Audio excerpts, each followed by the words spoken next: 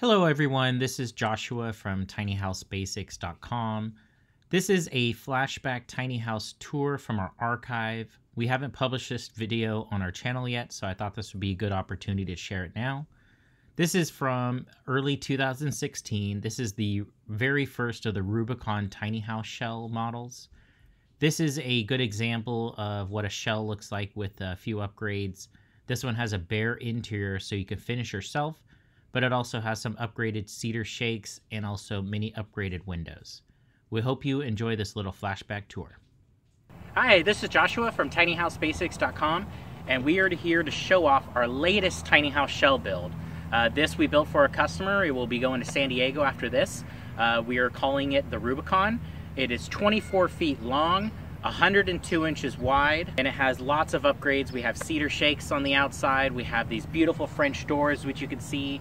We have two style pitch roof. We have a gable in the front and a gable with dormer in the back.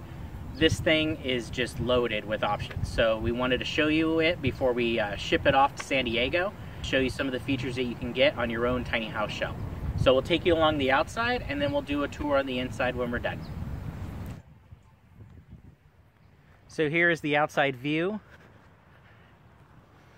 Now with each of our shells, they include four windows, the front door, standing seam metal roof in a gable style format, um, and then T111 exterior siding.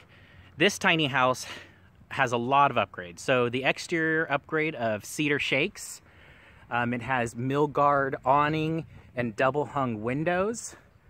It has these uh, beautiful uh, Milgard Essence French doors. Really opens up the space. And then they also, the customer also added these, requested these outriggers on the outside of the uh, roof line to kind of give it more character, a little bit better overhang for uh, water and rain. And then this front window up here is a large four by three awning window. So you can see it pitches forward for airflow. And um, let's take you around the backside. Each one gets its own Tiny House Basics bumper stickers. And here's the backside of this shell.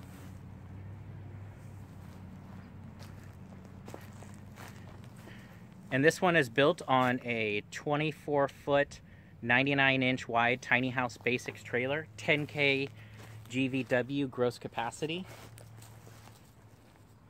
So each trailer and shell is custom built for the customer, so they can request features like drop axles, extended tongue, different color custom paints, different widths. And so on all of our shells, we'll always build them standard on 99 inch wide trailers. If the customer would like a little bit wider to bring it over the legal limit, we could do that. And we could also do it even more narrow. So let's go ahead and go to the inside and we'll show you the inside interior structure.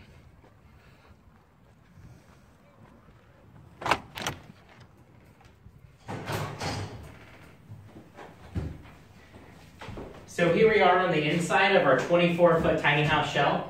Uh, we have these big six foot uh, Milgard Essence French doors. So it really opens up the space when you get these wide open. Really helps bring the outside in, which is really important in any tiny house design. We have it on our very own entertaining abode, where we have our 8-foot accordion window, our 36-inch front door, which has the full glass, and then in addition to that, we have about 13 windows in our build. So with this tiny house shell, there's the 6-foot French doors we have in the front, and then we also have nine extra windows. So with these Surefire shells, it includes four windows in the build at standard price. And then you can add as many windows, you could add French doors, patio doors, skylights, all those as extra options all the way up into a complete build. So with this build, they added five extra windows, and then they did the gable roof with dormers, and then the steeper gable roof in the front. And then we have uh, cedar shakes on the outside, as you saw on the outside walk around of the shell.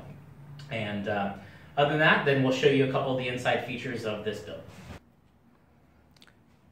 So we'll walk around the build so you can kind of see a little bit of the framing. So the beauty is the, of the shell is it takes we take care of the hard part for you. So you can get right to your electrical, your plumbing, and then all your interior finishes, but let us take care of the hard part, the actual structure and the framing and making it a watertight structure to build with. So right up here, the customer requested that they would put in their own loft. So, but this is where a 10 foot loft will go. The gable with dormer section is actually half of the trailer, so 12 feet. So the loft will come in at about just underneath this window right here, so they won't hit their head on the steeper gable when they're going down their stairs or ladder, or whichever option they choose to get down. Maybe even a rope or a fire pole. I guess we'll see.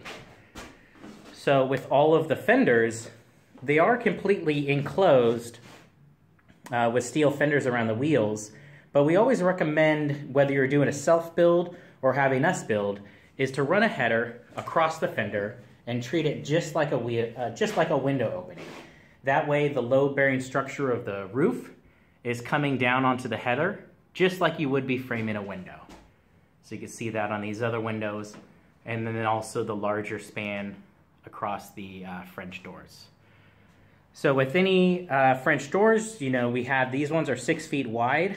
You can do uh, five feet, seven feet, and you could even place them behind the wheel wells, but the limited space for back there for a French door is about five feet. So here's a closer view of our Simpson HTT strong ties that we have on the king stud running all the way up to the top.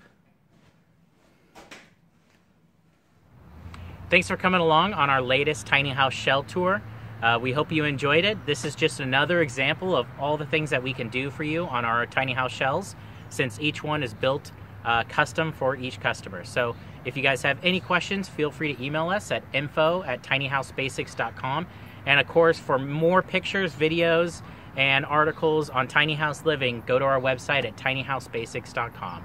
And thank you for watching.